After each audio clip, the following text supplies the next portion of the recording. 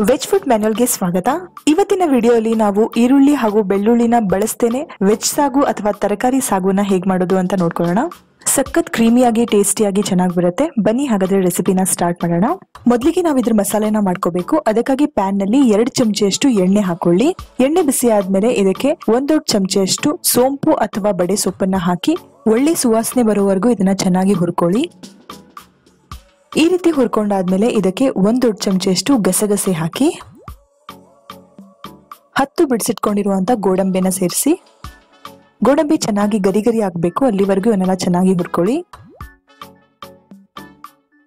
ಈಗ ಇದಕ್ಕೆ ಎರಡು ಏಲಕ್ಕಿ, ಒಂದ್ ಸ್ವಲ್ಪ ಚಕ್ಕೆ, ಖಾರಕ್ಕೆ ತಕ್ಕಷ್ಟು ಹಸಿರು ಮೆಣಸಿನಕಾಯಿ, ಹಾಗೆ ಒಂದ್ ಅರ್ಧ ಚಮಚೆಯಷ್ಟು ತುರಿದಿಟ್ಕೊಂಡಿರುವಂತ ಹಸಿ ಶುಂಠಿನ ಹಾಕಿ ಇವನ್ನೆಲ್ಲ ಒಂದು ನಿಮಿಷದವರೆಗೂ ಲೋ ಫ್ಲೇಮ್ ಮೇಲೆ ಚೆನ್ನಾಗಿ ಹುರ್ಕೊಳ್ಳಿ.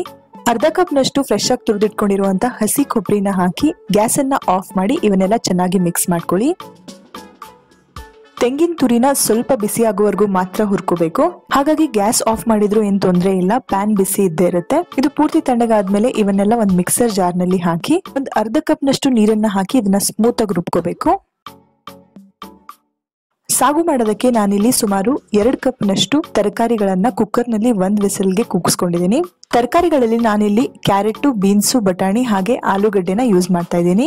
ಈ ರೀತಿ ತರಕಾರಿಗಳನ್ನ ಚಿಕ್ಕ ಚಿಕ್ಕದ ಕಟ್ ಮಾಡ್ಕೊಂಡು ಕುಕ್ಕರ್ನಲ್ಲಿ ಹಾಕಿ ಒಂದ್ ಸ್ವಲ್ಪ ನೀರ್ ಹಾಕಿ ಒಂದ್ ವಿಸಲ್ ಕೂಗಿಸ್ಕೊಂಡ್ರು ಸಾಕು. ಸಾಗು ಮಾಡೋದಕ್ಕೆ ಪ್ಯಾನ್ನಲ್ಲಿ ಎರಡು ಚಮಚೆಷ್ಟು ತುಪ್ಪ ಹಾಕೊಳ್ಳಿ. ತುಪ್ಪ ಚೆನ್ನಾಗಿ ಕರಗಾದ್ಮೇಲೆ ಇದಕ್ಕೆ ಅರ್ಧ ಚಮಚೆ ಜೀರಿಗೆ, ಅರ್ಧ ಚಮಚೆ ಸಾಸಿವೆ, ಎರಡು ಲವಂಗದ ಎಲೆ, ಎರಡು ಒಣಮೆಣಸಿನಕಾಯಿ ಕಾಲ್ ಚಮಚಷ್ಟು ಇಂಗು, ಒಂದು ಸ್ವಲ್ಪ ಕರಿಬೇವು ಸೊಪ್ಪು ಹಾಕಿ ಇವನ್ನೆಲ್ಲ ಚೆನ್ನಾಗಿ ಮಿಕ್ಸ್ ಮಾಡ್ಕೊಳ್ಳಿ.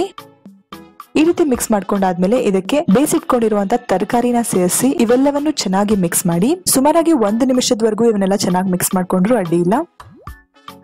ಈಗ ಇದಕ್ಕೆ ರುಬ್ಬಿಟ್ಕೊಂಡಿರುವಂತ ಮಸಾಲೆ ಪೇಸ್ಟ್ ಅನ್ನ ಹಾಕಿ, ಹಾಗೆ ಮಿಕ್ಸರ್ನಲ್ಲಿ ಒಂದ್ ಕಪ್ ನಷ್ಟು ನೀರನ್ನ ಹಾಕಿ ಅದನ್ನು ಇಲ್ಲಿ ಸೇರಿಸಿ ರುಚಿಗೆ ತಕ್ಕಷ್ಟು ಉಪ್ಪನ್ನ ಹಾಕಿ ಇದನ್ನ ಚೆನ್ನಾಗಿ ಮಿಕ್ಸ್ ಮಾಡ್ಕೊಳ್ಳಿ. ಕಡಿಮೆ ಉರಿ ಮೇಲೆ ಸುಮಾರು ಒಂದ್ ಐದರಿಂದ ಆರು ನಿಮಿಷದವರೆಗೂ ಇದು ಒಂದು ಒಳ್ಳೆ ಗಟ್ಟಿ ಹದಕ್ ಬರಬೇಕು. ಅಲ್ಲಿವರೆಗೂ ಇದನ್ನ ಬೇಯಿಸ್ಕೊಳ್ಳಿ.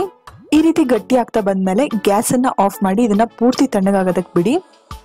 ಪೂರ್ತಿ ತಣ್ಣಗಾದ್ಮೇಲೆ ಇದಕ್ಕೆ ಸುಮಾರಾಗಿ ಒಂದ್ ಅರ್ಧ ಕಪ್ ನಷ್ಟು ಹಾಲು ಅಥವಾ ಕ್ರೀಮ್ ಇದ್ರೆ ಕ್ರೀಮ್ ಅನ್ನ ಸೇರಿಸಬಹುದು.